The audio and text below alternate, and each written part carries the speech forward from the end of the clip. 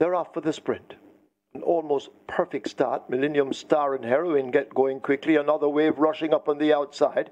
Toward the outside, too, a last dance is getting closer with every stride as they make their way toward the half mile. Empress Nikilia is making a run of it just in behind that leading bunch as they leave the half mile marker.